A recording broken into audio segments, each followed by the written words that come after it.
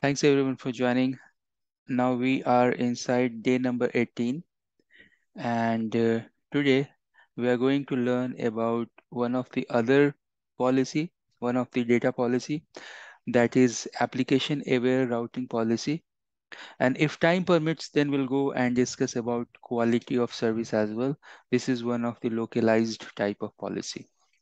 So let's focus on application aware routing policy first and later on I will check that uh, QoS policy and rest of the localized policies. Okay. So what is application aware routing policy and how it is possible in first place? Now you may know that uh, due to this evolution of uh, SD-WAN and SDN networking, what happened that uh, we can go and create policy not only based on network information, but based on application information as well. Why? Because all these devices, either it's a cEdge or vEdge, within these devices, they have something called uh, some sort of engine. And at the moment, you can think as an NBAR. So they have network-based application recognition engine within them. That means with that particular engine, whenever any traffic hit, hitting to those devices, they come to know about the app ID, application ID. Sometimes it is referred as a metadata of application. So somehow they will understand that which application is flowing through that particular device. Now, according to that, we can go and create certain policy. So what does it mean? We can go and create a list of applications, say app one. And this application, we can tie with some sort of SLA, say SLA1 and SLA2. That means that my policy will tell if SLA1 is meeting, that's good. Forward the traffic via MPLS. If SLA1 is not meeting the criteria, then redirect this application traffic via other link and other link may be internet or maybe any other default link. So as per the term and condition, you will find that the rule is very simple. What we are doing that we are we are creating policy based on application, right? So that means that we can go and group these policies based on different different uh, containers or app ID. And according to that, we can map with SLA and SLA, again, it can take action that you, you have to go via this link or this link. Now, the biggest question here is this, that uh, how? What's the mechanism inside SD-WAN that, that can go and collect the information about these application? That means it will go and uh, track the SLA service level agreement like loss, latency, jitter, etc. So SLAs are nothing but we are creating, uh, we are binding some sort of information related to loss, latency or jitter. That means, for example, if the latency is more than 100 millisecond, so somehow traffic is flowing via the circuit and latency is more than 100 millisecond, that means it is not meeting the SLA criteria. So in that case, we can go and take action, means the policy can go and take action. So rather mm-hmm. than sending via path one, you can redirect this to path two, maybe internet or something. Right. Now the question here is this, that in SD-WAN, what mechanism we have that can go and track the SLA? Right? That can go and check that the application glued with SLA, how they can go and change the path, etc. Before that, they have somehow they have to go and uh, they have to invalidate the uh, matching criteria or SLA should be invalidated, right? So answer is one word answer is this that BFD. Bidirectional forward detection is the mechanism via which it can go and detect the applications and applications plus the loss latency detail associated with that application. So how it is happening? Again, it's it's behind the scene. It's very simplified. So how it is happening? We know that uh, whenever we have application, obviously this application will travel from one edge device to other edge device, and in between you have multiple circuits. There is no problem. But we know that these applications, they are going inside the IPsec tunnel. So you may have different type of IPsec tunnels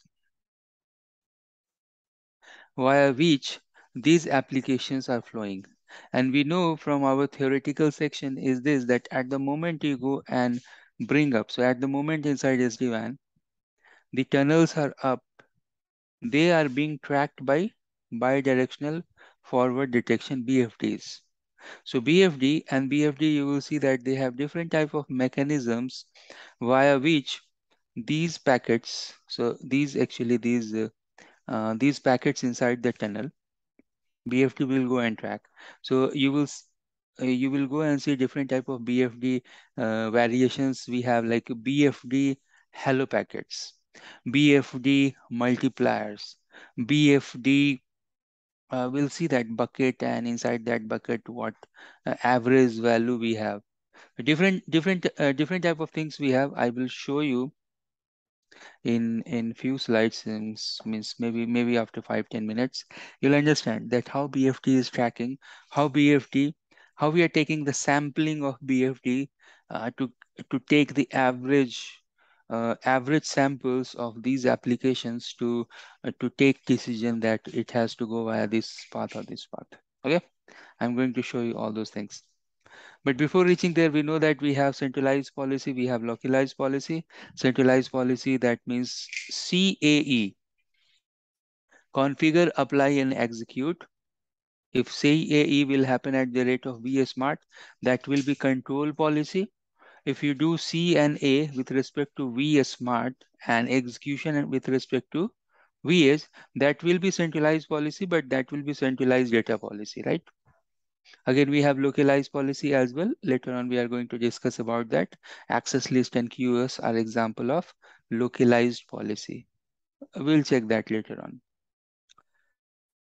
Okay, so let's focus on, uh, first of all, this application aware routing and how things are happening behind the scene. Uh, in this diagram, you'll understand that, okay, you have applications, application one, that is going from one location to other location, obviously within the IPsec tunnel, right? So that application will automatically glued with BFD. And now BFD will go and measure the one way and round trip loss latency jitter. So how it is? Uh, it's very simple. See, uh, I am A and other side B. Okay, so I am A here, right? And then Jitendra is side B, for example. Now, I am sending packet from A to B. Maybe it is taking two seconds and uh, obviously these things are in milliseconds. So uh, maybe it is taking 200 millisecond, for example. And when B is responding me, maybe that time it took 150 millisecond. So clearly you can see that there is a round trip timer variation. So overall average will be 200 plus 150 divided by 2.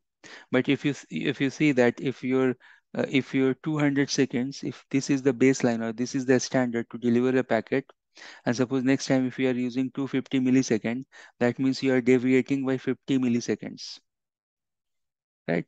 So like that, they are measuring the one way or round trip loss, latency and jitter. And according to that, with the policy, we can take action that we have to go via this circuit or this circuit. Okay.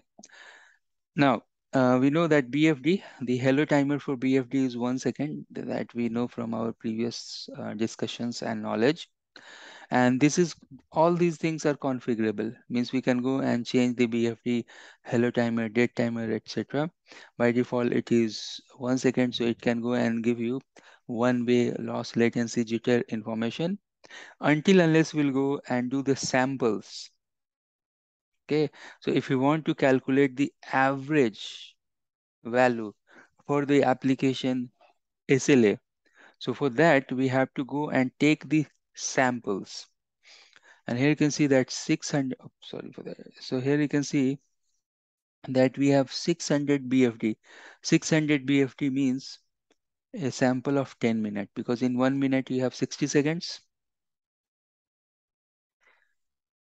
So one minute you have 60 seconds means you are taking the samples for 10 minutes. And let me show you this.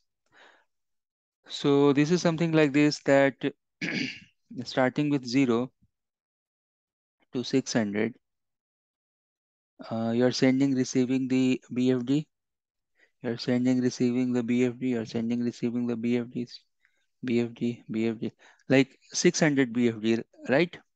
So 600 BFD, uh, if you go and uh, plot that diagram, you'll find that maybe few BFD round trip, sending, receiving, less, few maybe more, less, more, less, more, etc. Then again, you have to go and take the average.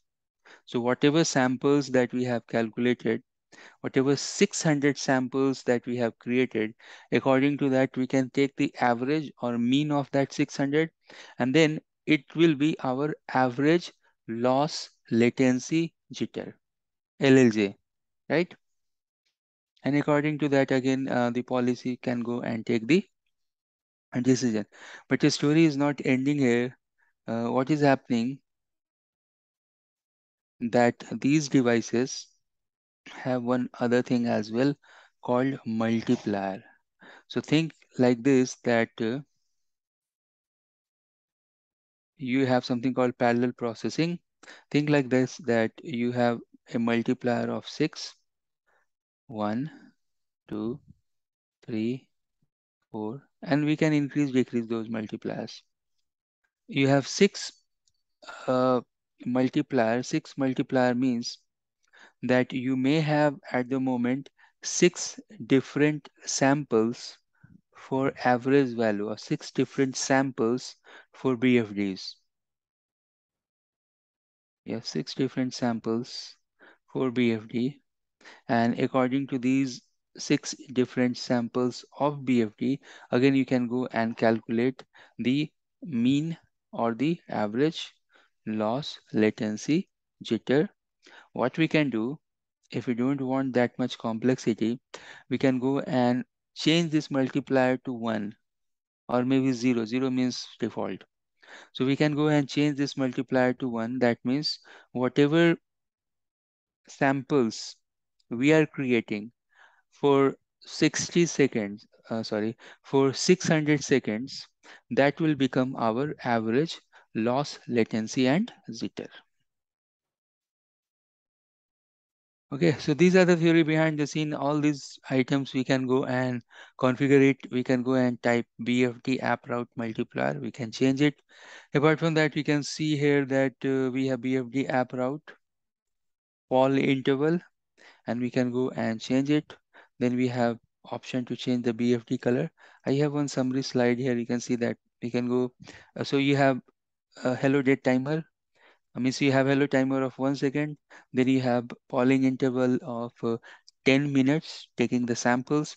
Then you can see that you have multiplier, default multiplier is six. It is one to one through six.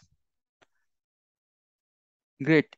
The last thing about this policy that this is the only positive policy we have. That means that if you go and apply this policy as a data policy, by default, all the policy in SD-WAN Viptela the default statement is block.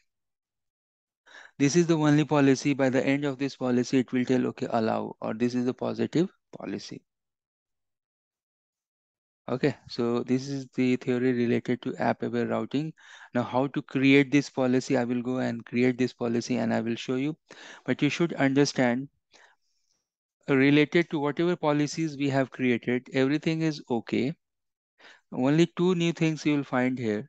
One is that we have to go and create the application list called app list.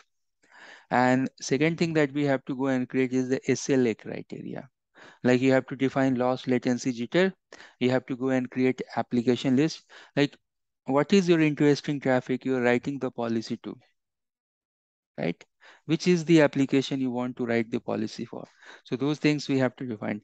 Rest each everything is straightforward we have to go and define the list we have to go and define the SLA class. Then we can go and create one data policy called app route policy. Um, these data policies are applicable to VPN, applicable to site. Then we can go inside the app route policy. We can match the action. So you can go and take the action. Preferred color, uh, if you want to stick it. So this is very interesting thing is this, that suppose you have HTTPS traffic. Now, HTTPS traffic you want to send via MPLS link. And then uh, you may fall back to internet with some default configuration. But suppose you don't want to send your HTTPS traffic via internet because you are assuming that it is not secure or it is it is bad uh, it is always worse than what MPLS we have. It's not good. For example, then if you want to stick with MPLS always, either MPLS link is up or down, then you can go and use the keyword called strict. So that means that you are not doing any type of load balancing failover, etc. You're sticking this application, either SLA is meeting the criteria or it's breaching the criteria. All the time we are preferring MPLS. That's the meaning of strict. Okay, and rest of the things you will understand well. I'll go and create the policy. So let's go and create the policy and uh, I will go create this policy and I will apply this policy. Then, uh, wow, I have this example here. Then I will go and uh, show you that if the policy will not match, then it will change the path. All these things you can verify as well. Okay. So what we'll do, we'll go and create some some SLA you can see on your screen. So you can see SLA called web latency 100, SLA for voice video latency 50, but you have option. I will show you loss latency and jitter. All these three options you have, you can give here. I have given only one, but we have option to give all these options, uh, all these loss latency jitter parameters. Then we'll go and create the policy. We'll call the app list, but we have to create the app list as well. So you will see this in the in the list section that we have app list HTTPS. I'll go and map with web and webmail. Then I'll go and create a SIP app. Right. I, I'm going to follow whatever policy you are seeing here in this example. Likewise, you can also create, but you always have option that you can create big, big, big policy. You can take good amount of application. Now, how many application that NBAR or the SD-WAN devices can match? So they uh, they can match up to I think uh, maybe two to three thousand applications in the in the in their application recognition engine. They they can match up to that, but you can you can check the uh, document here. I think it is two thousand three hundred in this document, but uh, but the number is more. Ratnesh? Yep. So it's only like HTTP HTTPS HTTP or like it's a like application like uh, I have a mail or I have some uh, other application. So application wise name we can put or only yeah. Like so we have we have two things here. Uh, we we can map with application and we can map with application family. So both the options are here. Let me show you. It is there in the slide. Somewhere will find that I have uh, clearly shown that we can go and match on base of application. Yeah, here you can see application name and application family. So once you go and match the application family, uh, for example, if I go and map uh, YouTube. So with respect to YouTube, all uh, uh application inside YouTube will come into the picture. For example, Facebook. So inside Facebook, we may have 20 different applications like Facebook chat, Facebook video, Facebook etc etc so all those 20s will match you know because we are calling so, the application family so when you are mentioning youtube so it will come under the application name right I will show you that. You will understand. All right, so let's go and create this policy. Let me show you this. You'll understand. It's not a big thing that we will not follow.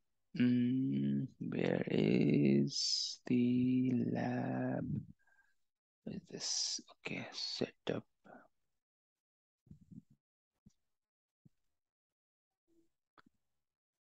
Important document. Share link CLA. Okay, I'll I'll show that uh, your question. I'm going to answer that. Let me connect to the uh, VPN.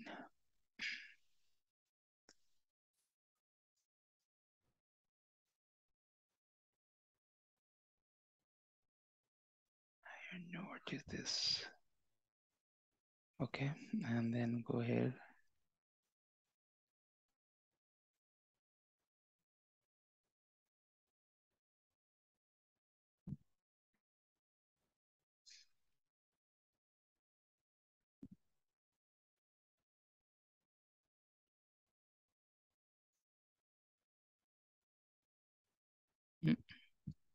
It's not. It's not. Uh,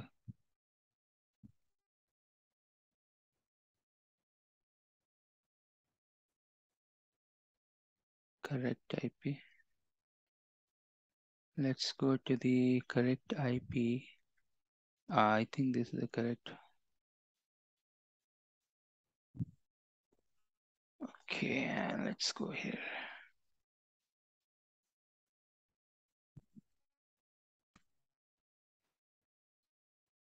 Okay, and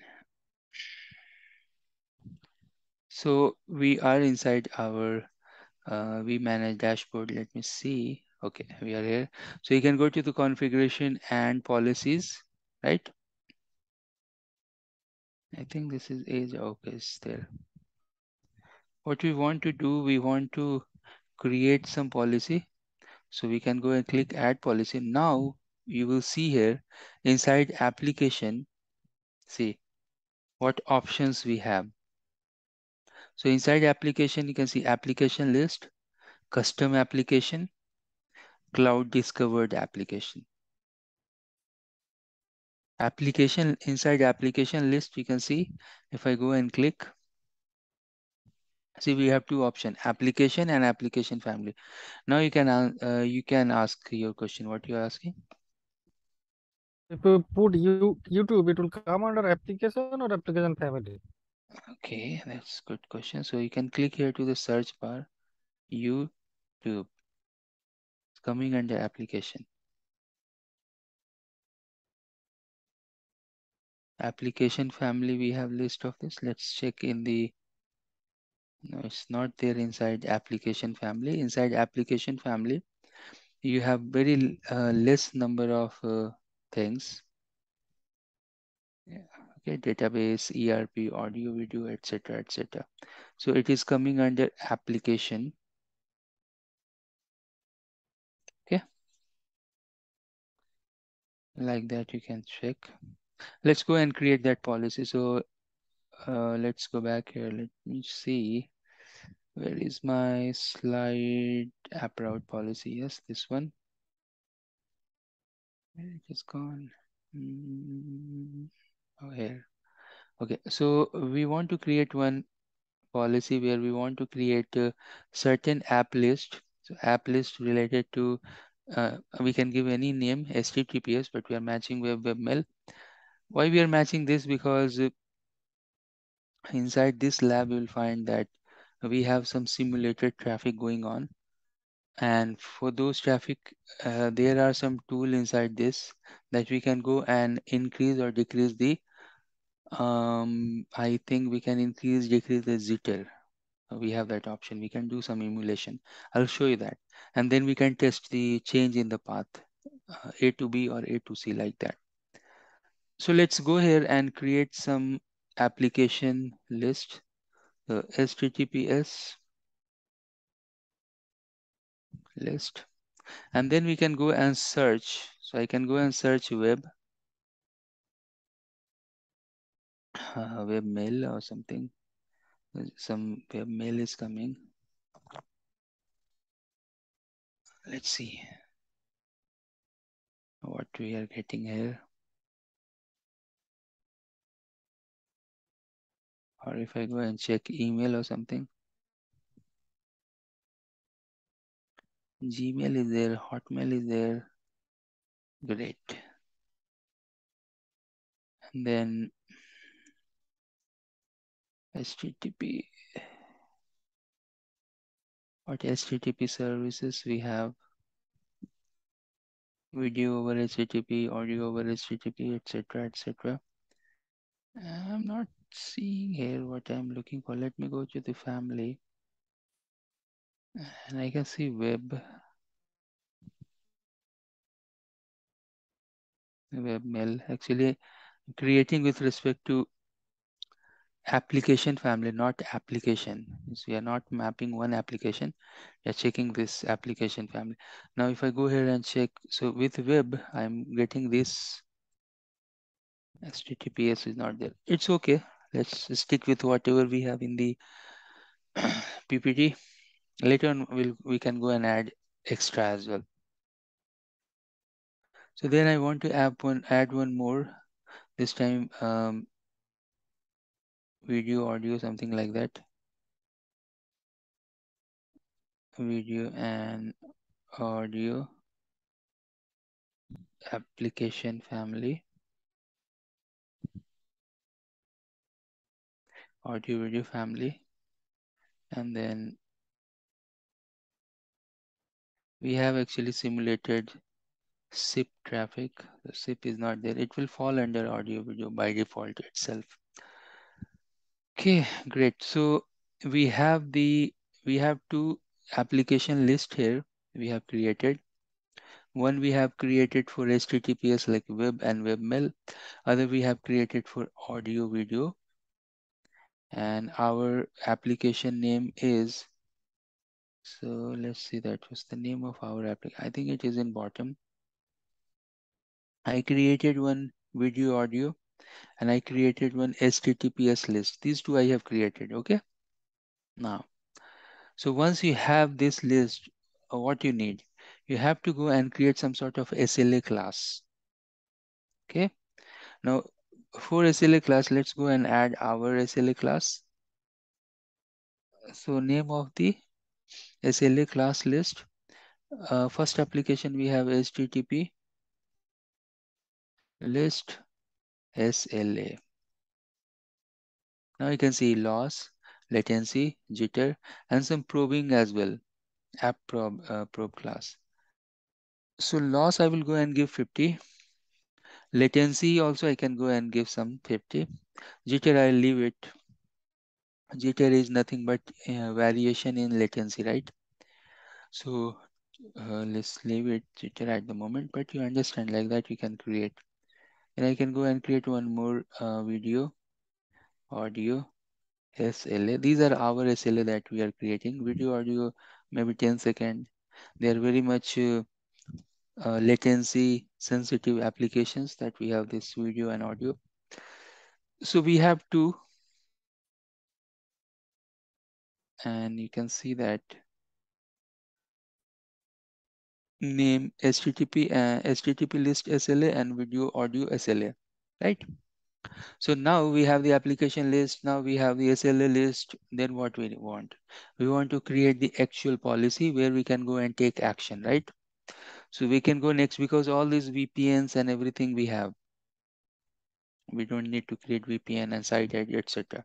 All the other list we have. We know from this page that this is for control policy. Next, you can see clearly app route policy. Let's go and add app route policy. I'll give the name. This is for HTTPS and audio video policy. Video policy, something like that. You can give any logical name. All right, let's go and click the sequence type, see app route, sequence rule. What do we want to do. So once you are inside this uh, policy, uh, match the VPN, match the app list. So for audio video, what you want?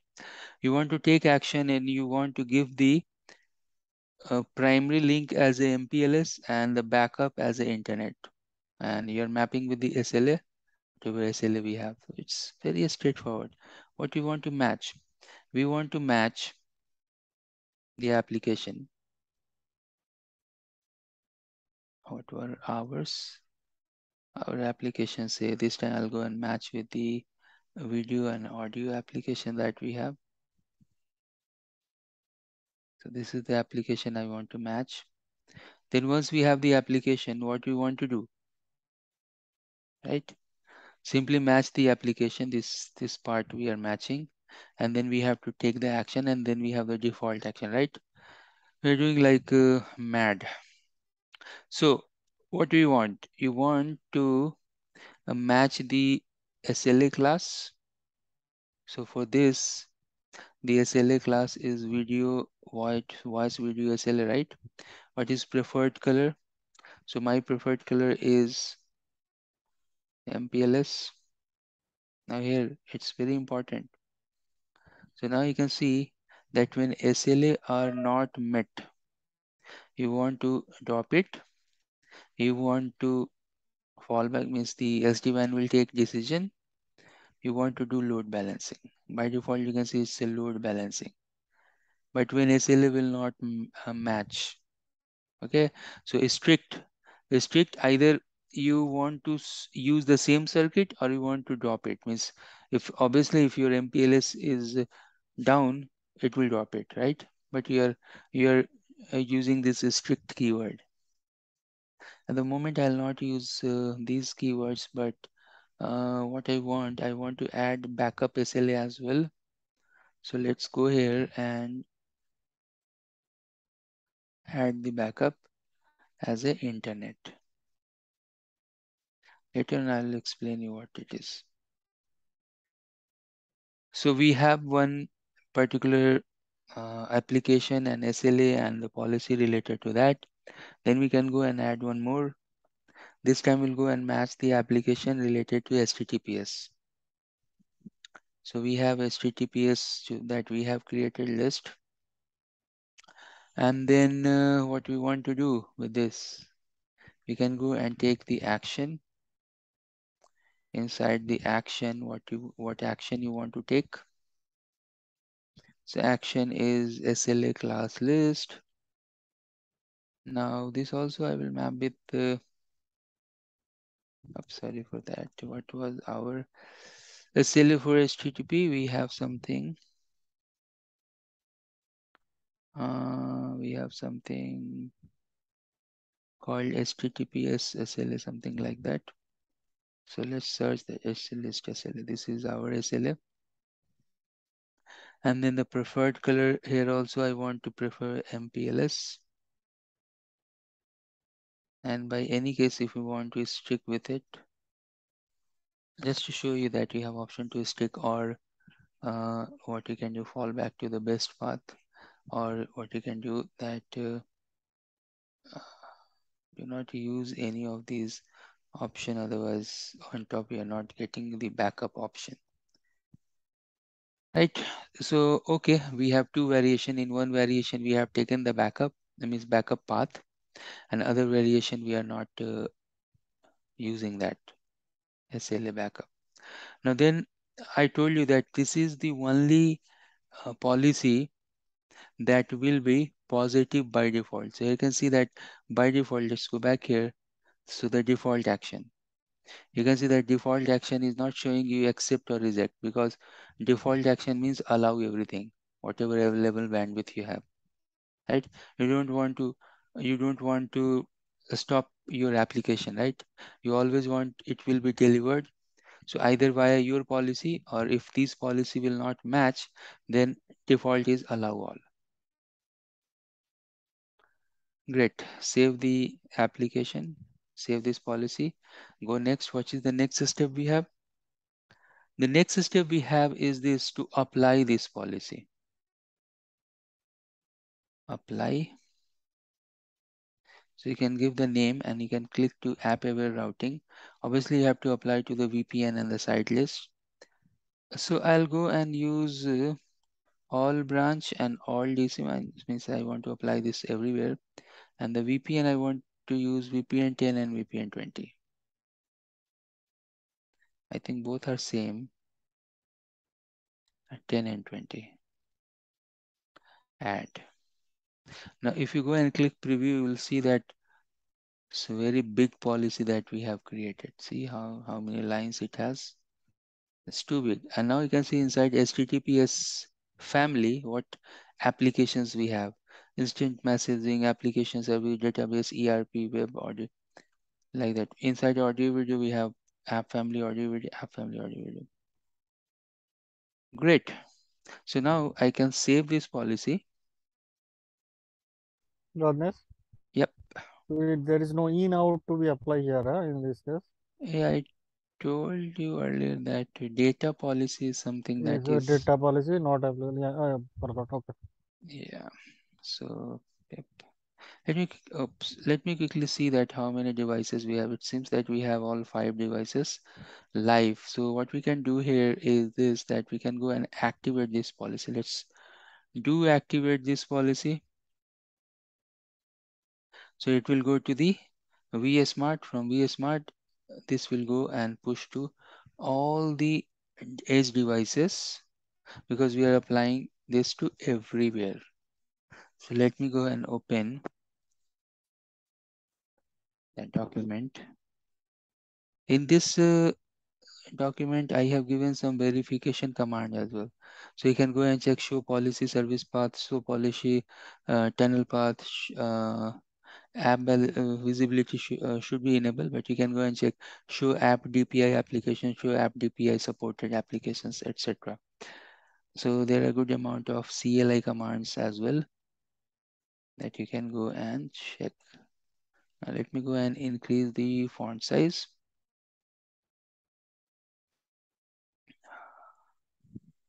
So here we are.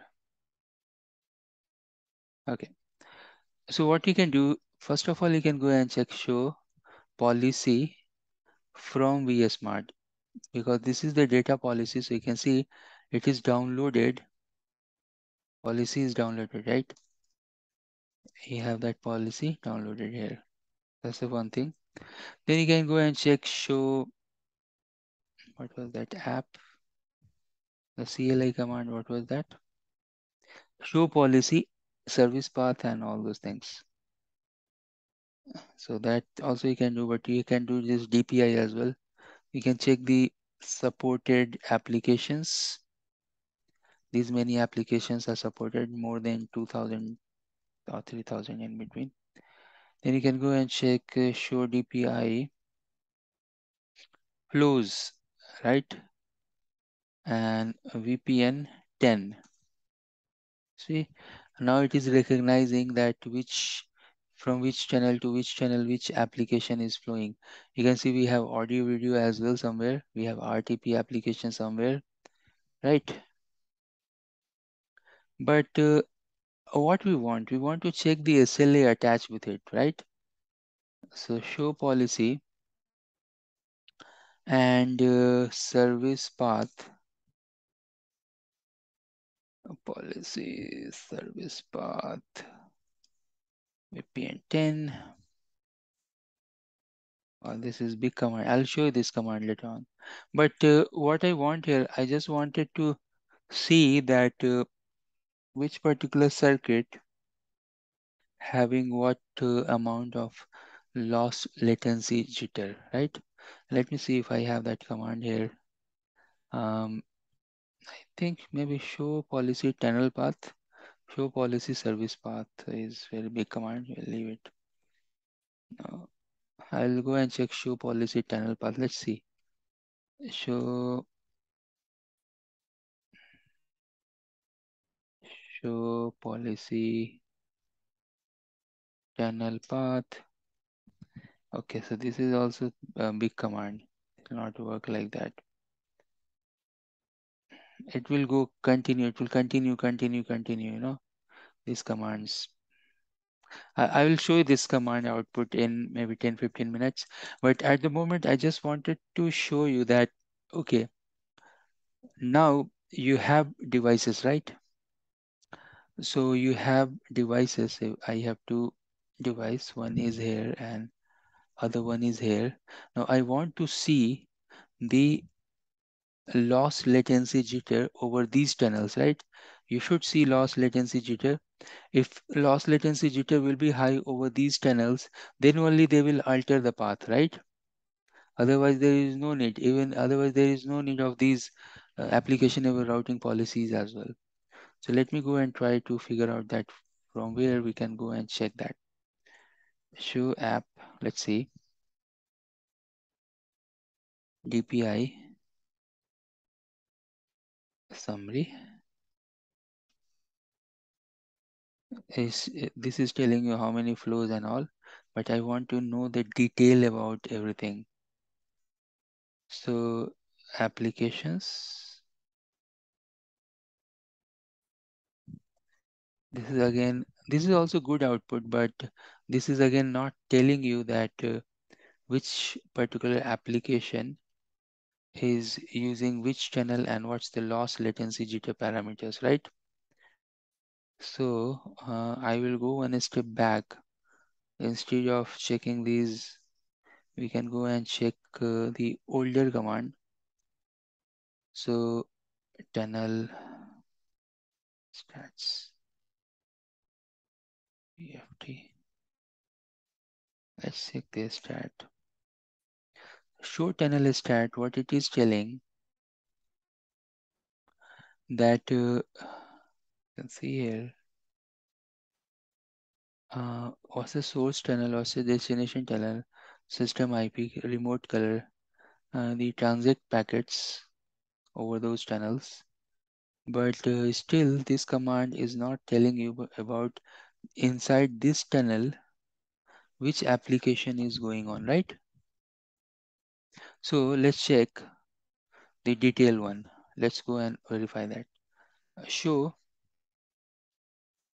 policy tunnel vpn 10 interface interface source IP suppose the source IP is its system IP 10.4.0.1 and then destination IP maybe it's going towards the data center whose system IP is 10.1.0.1 protocol. Uh, let's check the UDP protocol whose port number is 17 all. So if uh, we are checking the protocol 17 is UDP flow. So it is telling that you have total four flows from 2.6 to 3.2.30 0.26 to 0.2 2.6 to 2.16 0.26 to 0.6 uh, you can see that few flows using internet few flows using mpls now if i'm very much specific to any of the application so here you can go and give the app and if we are looking for rtp yeah, RTP audio video.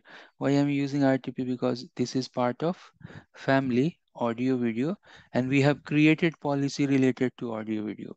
So what it is telling that your tunnel, this, let's see, show interface description 26026 going to, this is um, data center. Let's go here and check. Show interface description. The font size is very, very small but uh, you will see let's see what's ip i think this one 164.2.26 no this is 0.6 let's see where is 0.6 no this is not dc1 then let's go to um, dc1 vs2 interface description yeah 0.6 and show run uh, vpn 0 interface gigi 0 slash what interface is this? This is MPLS. So from remote side, so you can see with this output, it is telling that uh, RTP traffic flow is from branch to this IP and this IP belongs to this particular interface. Sure, and VPN 0 interface, interface Gigi 0 slash 1. Let's see that interface. So this interface is MPLS. So both places we have MPLS. So what it is telling that uh, RTP traffic going from this branch MPLS to this branch or this data center MPLS circuit. Okay. Now still I I'm not seeing loss latency jitter information. So let's try to check that. Show app route and states. I think this is the command which will tell you the information about loss latency jitter. So now you can see um, what was that circuit? The circuit was 26 to 0, 0 uh, 26 to 2 like that you can memorize okay? So 26 to 2 see. 26 to 2 this first one.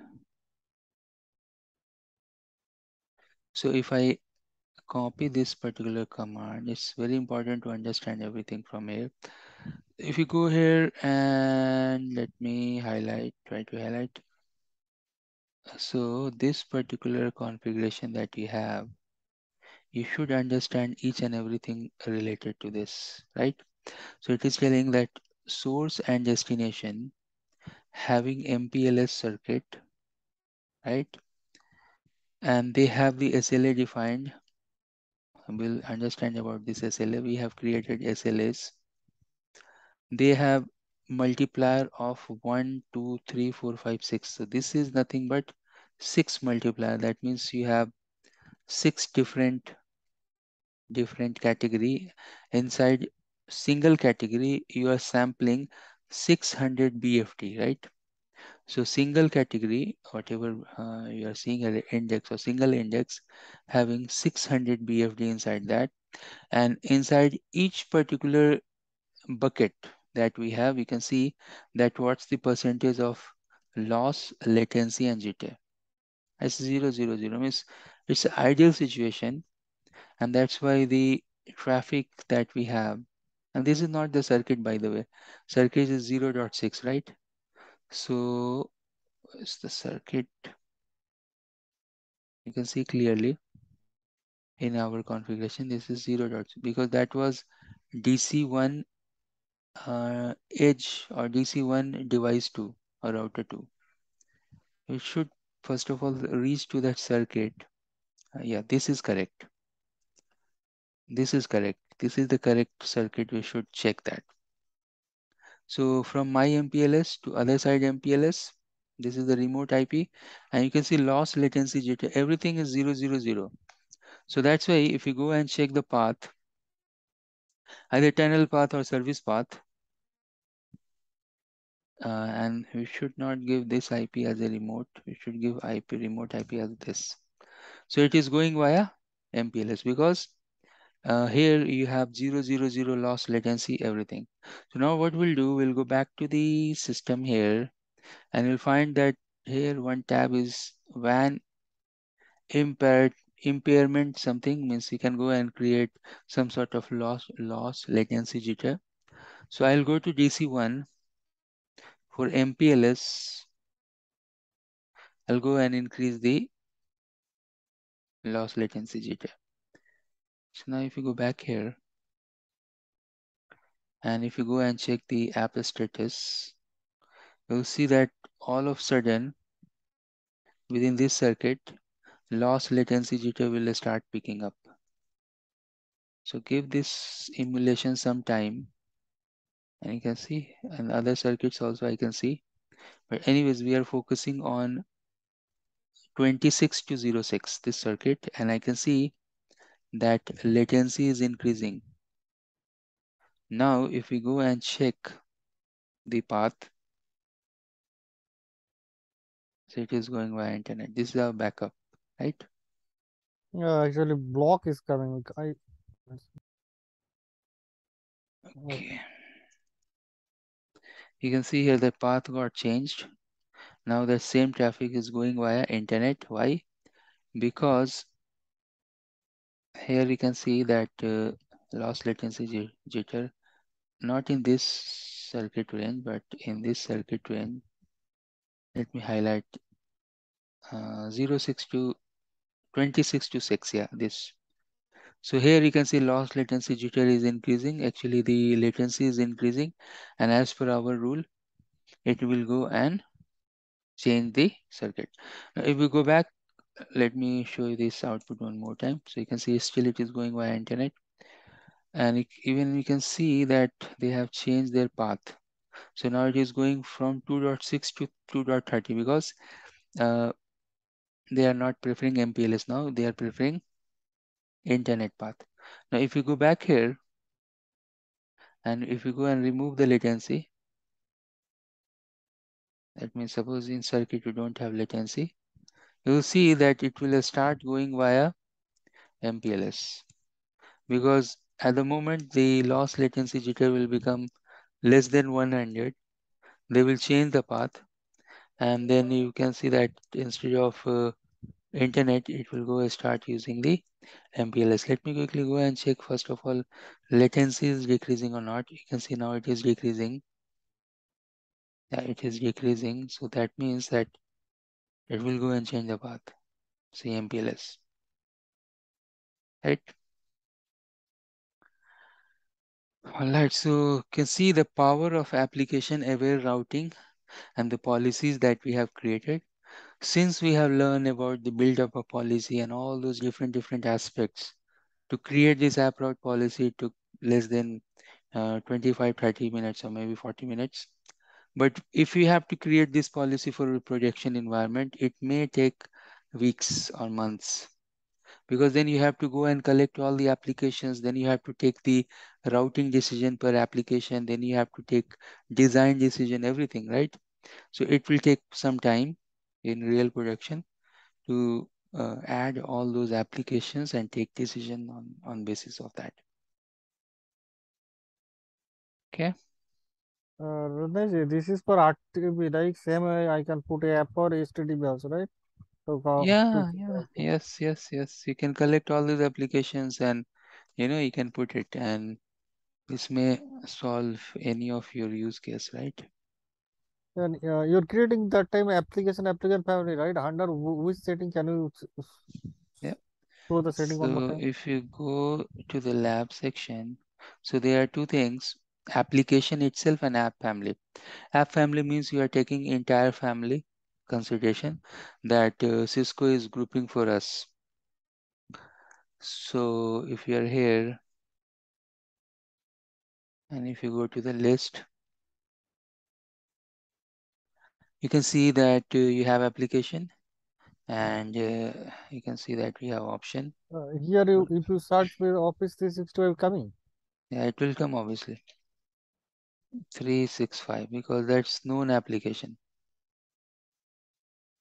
Inside application office 365 mm -hmm.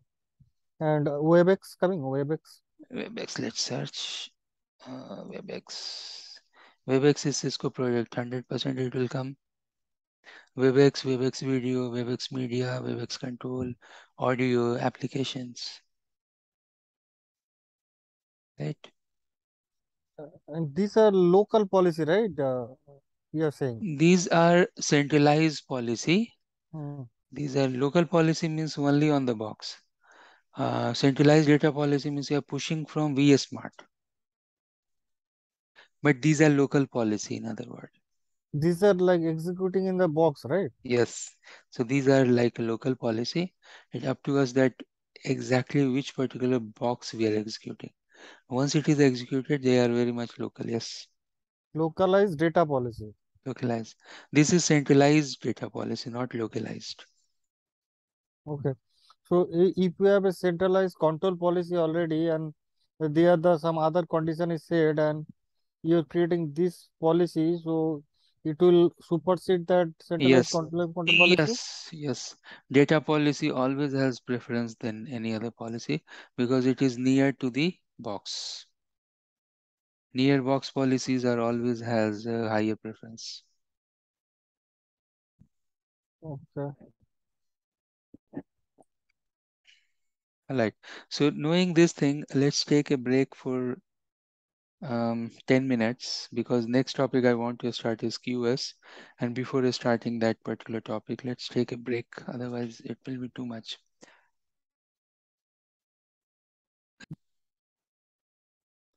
So what I will do for QS is this that today we will go and understand the concepts of QS that will be applicable for our SD-WAN Viptela.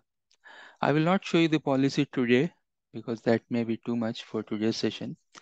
Uh, we'll check the policies, QS and remaining centralized, uh, remaining localized policy, few of the policy in upcoming sessions. Okay. So let's try to understand the concept of quality of service. The quality of service itself is a big topic. And if you go and check some of the books or some of the Cisco Live documents, you'll find that maybe they, they have written 500 to 600 pages just to understand the quality of service. It's a huge, big topic, right? Now, if you if you check Cisco hardware, you'll find that different type of hardware. So Catalyst switches, they have different type of quality of service hardware structure. Then uh, Cisco devices, Cisco routers, they have different type of quality of service hardware architecture. Nexus switches, they have different. There's different different hardware platforms. They have different type of quality of service structure because very much this quality of service depends upon the hardware as well. Means inside that particular hardware, how much uh, uh, buffer you have for different different traffics. Okay. Here also we'll understand QS. This no no big thing, big thing, big deal to understand QS. But behind the scene scene itself, QS is very big topic. Okay.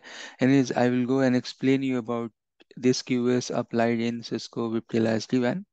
But if you are interested, uh, you can check. Uh, there are so many good documents related to quality of service. Okay, so let's start. Quality of service, why we need, first of all, what's the requirement? So requirement is like this, that uh, if you have some sort of congestion, right? If you, if you, if you want to prioritize certain traffic, then you can go and use quality of service. In other words, if there is no congestion, uh, there is no requirement of QoS. But if there is no congestion, so there is one exception.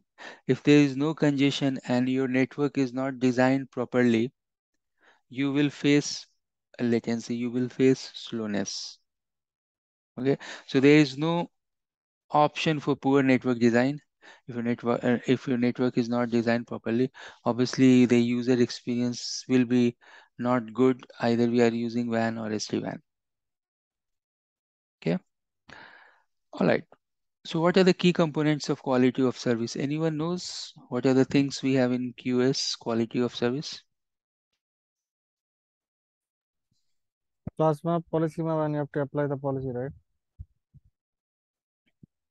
Yeah, so quality of service class map policy, right? And we can go and apply the policy and that's right. But quality of service itself have so many different uh, categories, you know. Uh, categories means that you want to do some sort of uh, congestion avoidance. That means that uh, you will go and assume that congestion will happen. And then what do you want to do to prevent from congestion, just to avoid the congestion, right? I mean, you can give some example for that, what we can do for congestion avoidance.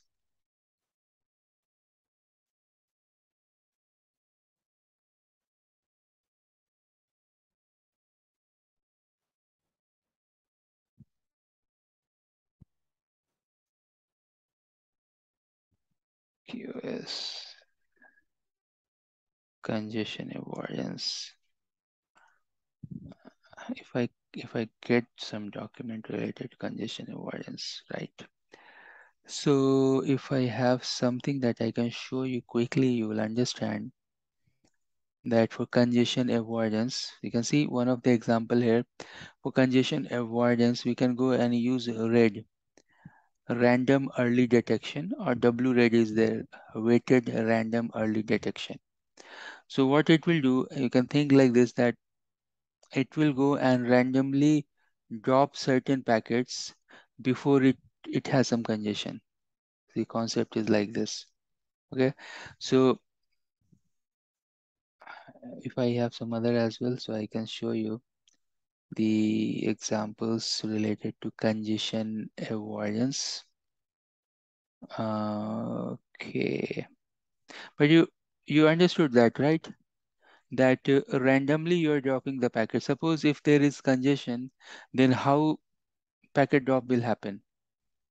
So generally that packet drop is something uh, using FIFO, first in, first out, like this.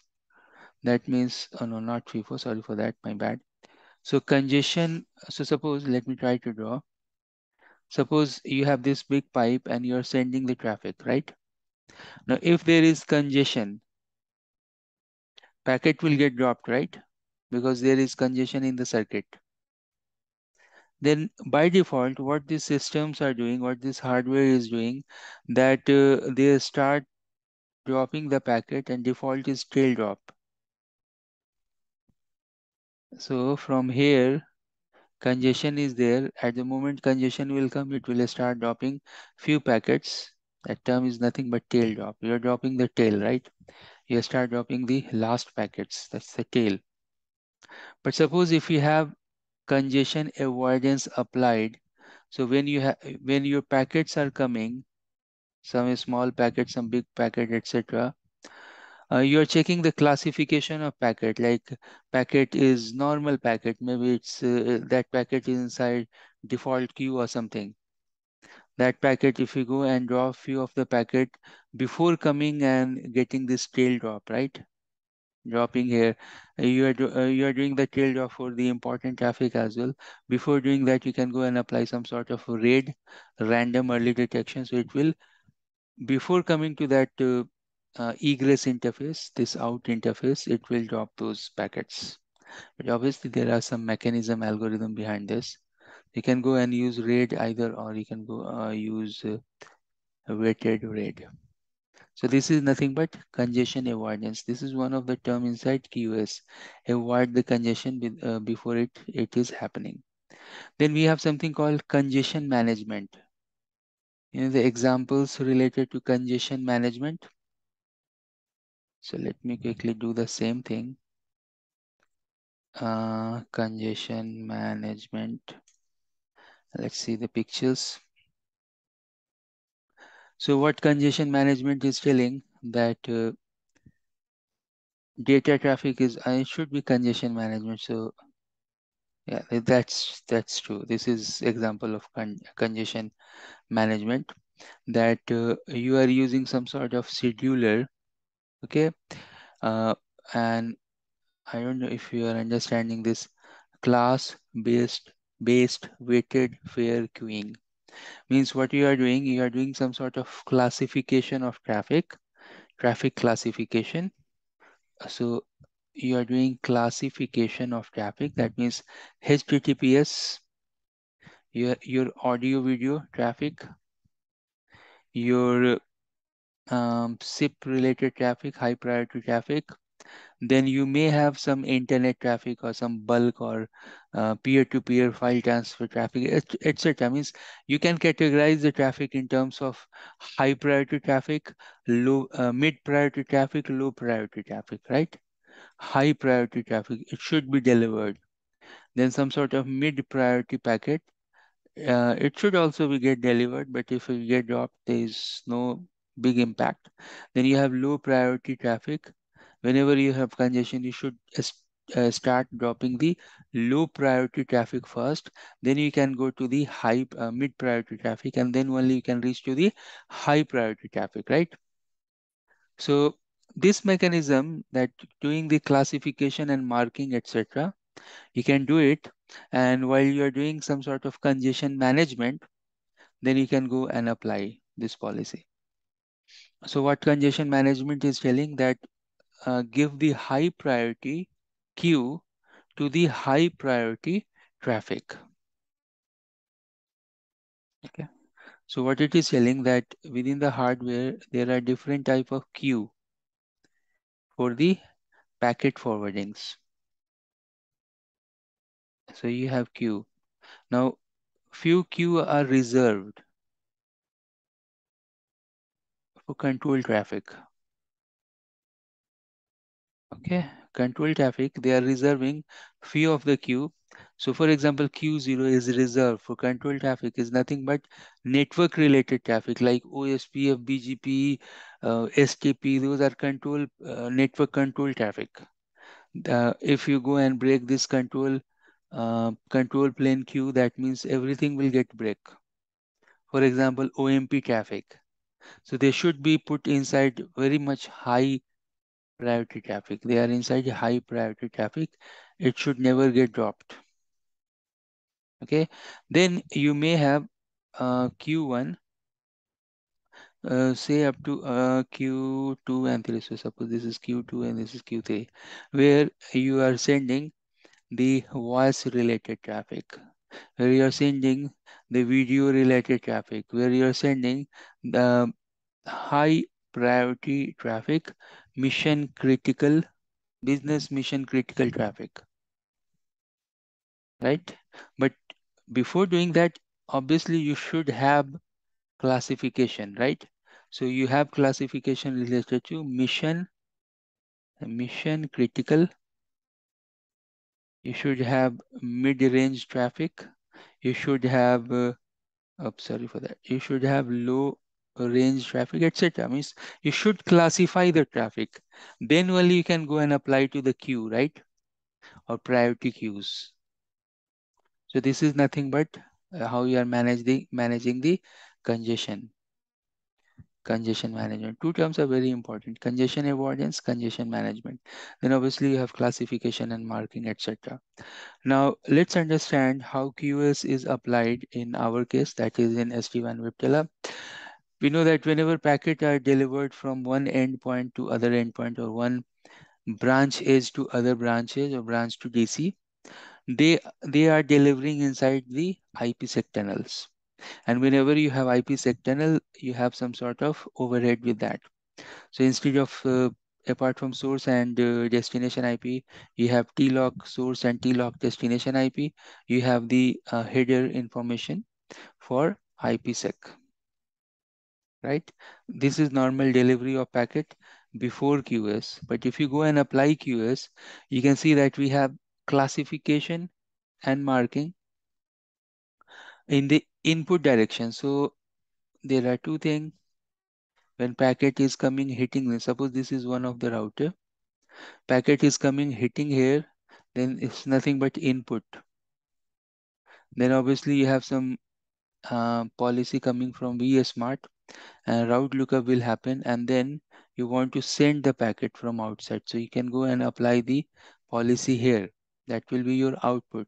So in output, we can do and use the uh, ACL, uh, some scheduling, some rewriting of the packets, and then we'll go send to the wire, right? So this is very much flow for all the QoS, not only SD-WAN QoS. If you go and check any QoS, this is the flow right? Now, what we need to do as uh, we should mention that we have to go create class map, we have to create policy map, and we have to go and apply it. What I have done, I have break all these steps in very small, smaller steps, six different steps to go and apply this policy. Uh, these are the steps. But before coming to this step, one very important thing I want to discuss here related to queues inside SD-WAN uh, uh, fabric. So inside SD-WAN, we know that we may have virtual form factor or vEdge, right? Um, Cloud-based vEdge, or we may have hardware-related vEdge or cEdge, right? So this is hardware. So what it is telling document is telling that in software based uh, edge devices, you have only four queue starting with 0, 1, 2, 3. That's it. But in the hardware based system, you have 0, 1, 2, 3, 4, 5 up to 7 means you have 8 queue. Let me highlight. You have 8 queue in hardware platform and you have 4 queue in the software platform. In all these queues, means in all these uh, either it's a software or hardware platform, Q0 is reserved for control traffic. Like it's a very much high priority traffic because if you block this control queue or Q0, that means your network will go down. It will never come up because of this uh, issue. Correct? So knowing that fact and all the theories that we have studied in our um, in in uh, past 15 20 minutes, how you can go write the QS policy and apply it. Now the lab for this I'm going to show you in the next session, but today we'll go and discuss about theory. Six steps are there. Okay, all these six steps you can see, and these steps you'll find it very easy.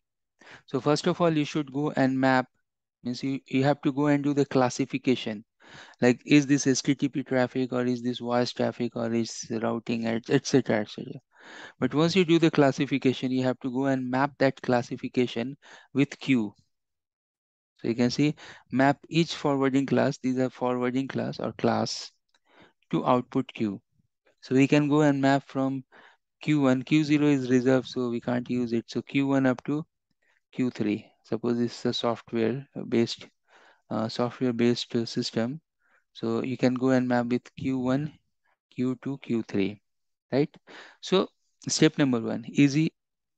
Do the classification map with the queue step number two use the scheduling uh, methodology and just now we have discussed about the schedulers means we we should go and do some sort of congestion management so you can go and use the scheduling so the forwarding class that you have created you have to go and put a, uh, inside QS scheduler.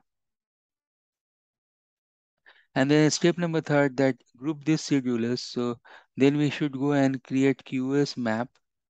And this schedulers, we have to go and map inside QS map. Obviously, when you have a step number one, two, three, you can go and apply this Q map.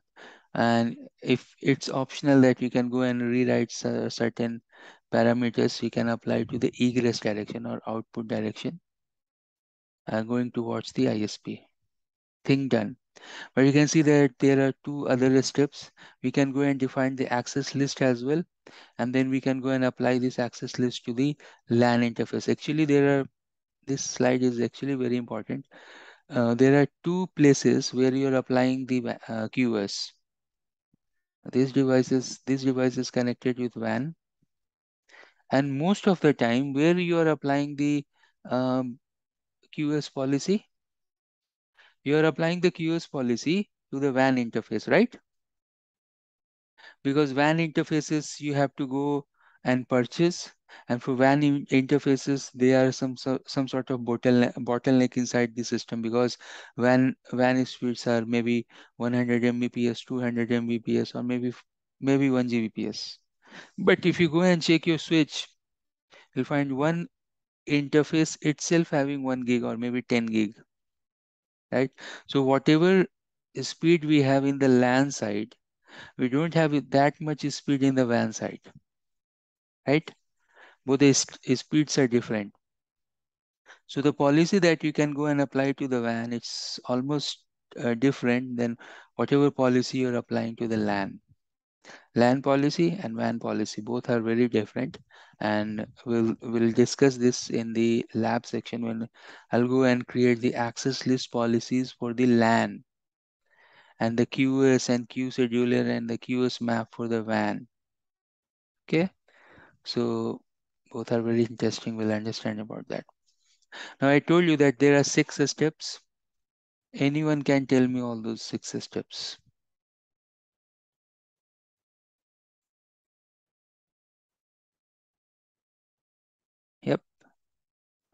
What are those six steps? Previous step, huh?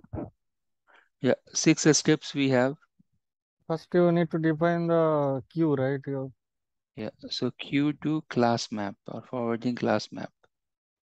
then you need to uh, need to uh, set the scheduler. The scheduler, yes. Then And you have to inside map. scheduler, Hmm. we have to map step number one. Okay, great. Then three. Forgot this. Uh, forgot. Then you have to create QoS map, right? Hmm. And then you have to call a step number two. Inside that you have to call QoS schedulers, right? Then we have some optional step, step number four, step number five. That is actually for the LAN side. So you have to go and create the ACL. Now this ACL is 100% different than the Cisco ACLs. Just the name is same, access control list, but everything is different. Okay. And then finally, we have to go and apply this. So step number six is apply the QoS map.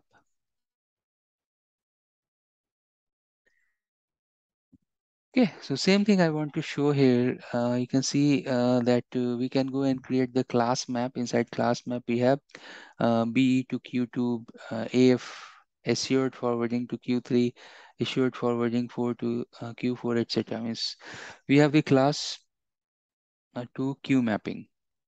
Then you can see that uh, step number two, this is step number two, where we have the schedulers. Inside that, we are calling the class we are defining the bandwidth buffer percent and then uh, what is this congestion avoidance red drop random early detection drop we have options here we'll see that later on we have options there like that you can see that we have uh, scheduler 2 scheduler 3 scheduler 4 and all these schedulers we are calling different different classes and then we are taking the action okay great and then what is the step number three that you, you should go and create the QS map. And inside QS map, we are calling scheduler one, two, and three. Very much it. And then step number six, directly you can go and apply step number six, where you can go and apply this qs map to the egress direction to the uh, to the physical interface inside VPN 0, right? Apart from that, we have to go and learn about the ACL. I told you that these access lists are 100% different than Cisco ACL. So access list ACL, ACL 1 is very much like we are creating the policy and that's why it is coming under localized data policy. So this ACL, QoS, they are part of localized data policy. Yeah. So later I'll I'll show you this example that uh, you can have this uh, QoS configuration. You have your uh, ACL. You can see ACLs we are applying to VPN. So uh, VPN zero, we are applying the QoS map, right? But apart from that, you have service side VPN where you can go and apply the ACLs, ACLs.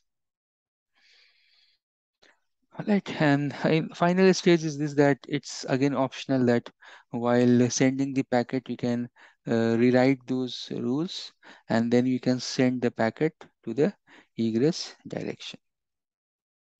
Some policy option as well that we can go and use the uh, policer.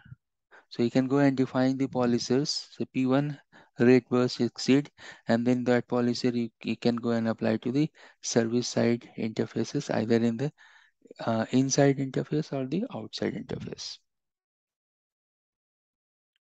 Okay, so QoS is something that uh, is a big topic, but I try to uh, break you down this in terms of QoS, that I try to break it, this topic in a small, small chunks. And you find that you have six steps actually. And if you understand these six steps, you will understand QoS in SD-WAN. So class to queue mapping, then QoS schedulers, then QoS map, and then you have ACLs actually. ACL you can go and apply to the service side VPNs, right? And the Q map you have to apply to the uh, VPN 0. Okay, so you have ACL policies inside ACL, and finally you're applying the rule. Those are steps we have. If you have any further question, you can ask. So VPN one, VPN two, those are service policy, right? Service side VPN, yes. Uh, what you're putting policy or P1? Policy. It's a name here. So we can not only create the as, uh, access control list, but Hmm. we can go and create the policing as well. You know, policing and Yeah. scheduling terms are there. So we can go and policy US the policing, right? You're talking. US policy. Yes. Let me show you this, how you can see. Can go to localize policy. Obviously, we'll we have to learn about this. You can see policy here. And then you can go and create the QoS policy. Name of the list. You can go and define the burst, exceed, you know, all those things. So burst say select uh, or if you want to remark etc rate leave it click add. All the fields need to save. Okay let i'll go and use 800 bps so you can see that we have the policy. And then this policy we can go and apply like this to vpn1 uh, interface. How you will apply you know you have to go and edit the template. Okay once you go inside the vpn1 uh, device configuration template. So let me go here to configuration and template. And uh, let's see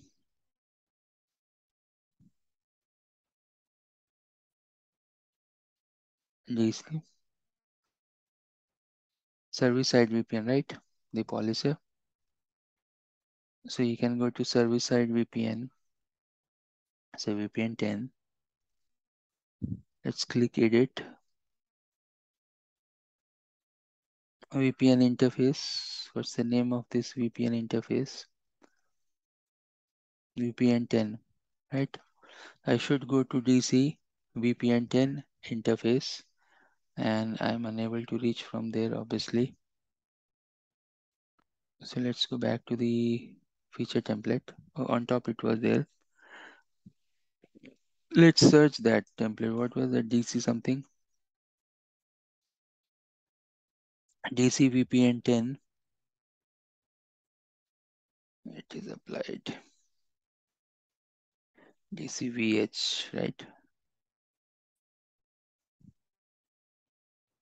and uh, which uh, two devices it, it, it is attached. So let me quickly go here. It's not this one.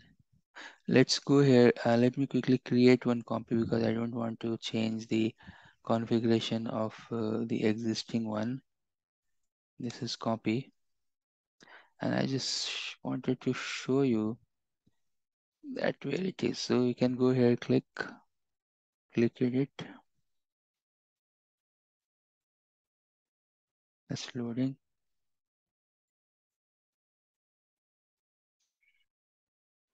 Still loading still so now you will see that you can go and apply the policy uh, that local policy we have related to policing right?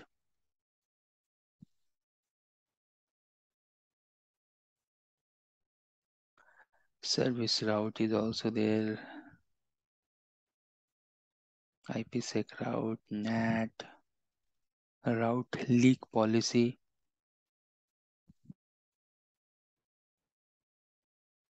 What you're can trying to uh, show, um, brother, this part I'm not clear. yeah What so create what I'm telling that uh, see I'll show you that. So what I'm telling that uh, you are asking about policy right? Yeah, yeah. So this policer is part of configuration. If this is a part of policy, then you have to create policy and apply it. from vManage to vSmart and it will get applied. But if it is a part of policy and it's part of interface um, VPN policy, that, that means that you have to go to this interface and then you have to apply this. Right? So Mm-hmm. you can you can create this as a list, but you have to apply this to the interface to that particular list. So that's why I, I just try to show you this that if we have any, you can go to feature and you can check interface. Interface. I just wanted to show you interface template. That's my uh, idea here to show you interface, maybe interface 10 or 20, doesn't matter.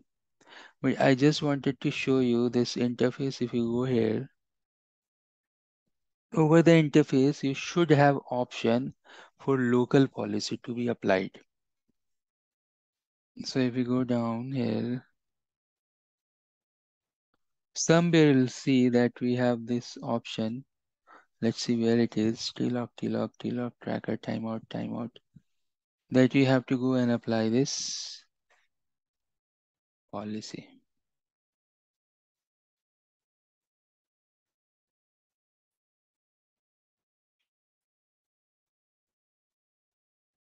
See, ACLs you will apply here. So QS map see you have to apply here. You can see. So this section is not policy section. This section is what? Configuration section. So inside configuration section, you are applying shaping, QS map, rewrite rule, ingress or egress ACLs, IPv4 ACLs, etc. Right? And then you Mm-hmm. can see ingress policy, see ingress policy, egress policies. So if I go and it is asking the name. So, so we have created a P1. So we can go and put it. If we are applying to ingress, ingress means indirection. Okay, so simply we have to go there and put name P1. Okay, uh, so no worries. Uh, we are going to check all this configuration related to QS and few of the configuration related to policing in our next section. Meanwhile, if you have any question, you can feel free to ask.